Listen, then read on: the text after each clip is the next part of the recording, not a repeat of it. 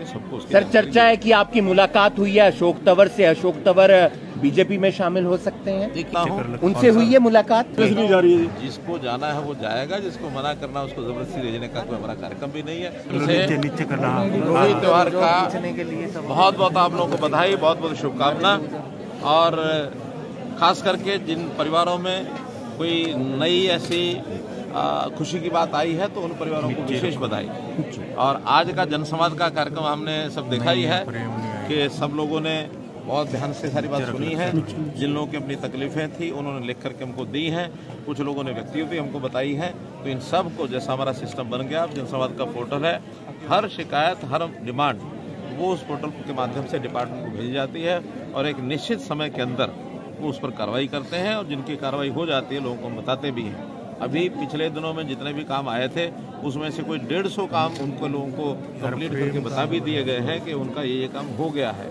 लेकिन फिर भी पाइपलाइन में जो चीज़ें हैं जैसे जैसे कंप्लीट होती है सबको सर चर्चा है कि आपकी मुलाकात हुई है अशोक तंवर से। अशोक तंवर बीजेपी में शामिल हो सकते हैं? देखिए मैं क्योंकि मेरा जो दायित्व है उस नाते से मिलना जुलना कोई मना नहीं है किसी को भी। सब मिलते जुलते हैं और उसमें हमारी अपनी पार्टी के तो लोग मिलते ही हैं साथ में दूसरी पार्टियों के लोग भी बहुत ऐसे अवसर आते हैं जो अपनी अपनी बात को लेके आते हैं।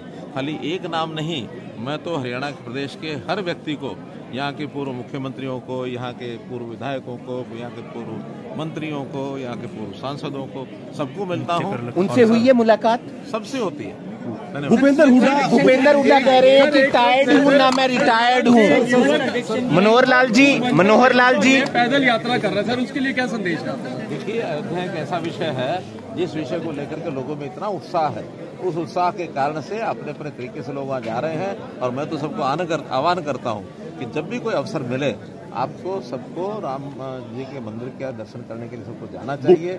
बाईस जनवरी को उसका विधिवत जो उद्घाटन हो रहा है प्राण प्रतिष्ठा हो रही है उस अवसर पर तो शायद ज़्यादा लोग नहीं जा पाए कांग्रेस ने मना कर दिया है सर हम नहीं जाएँगे। नहीं जा रही है। जिसको जाना है वो जाएगा जिसको मना करना उसको ज़बरदस्ती भेजने का कोई हमारा कार्यक्रम भी नहीं है। ज़बरदस्ती ना कोई भेज सकते हैं ये मन की मन की बात है श्रद्धा की बात है। उनके अगर श्रद्धा नहीं है तो नहीं है। समाज से कट रहेंगे हमें उसमें कोई ज़्यादा सर भूपेंद्र हुडा कह रहे हैं सर ना मैं टायर हूँ मैं ना रिटायर्ड हूँ लास्ट अवसर मांग रहे हैं। सर। 14 रैंक पे आया है। है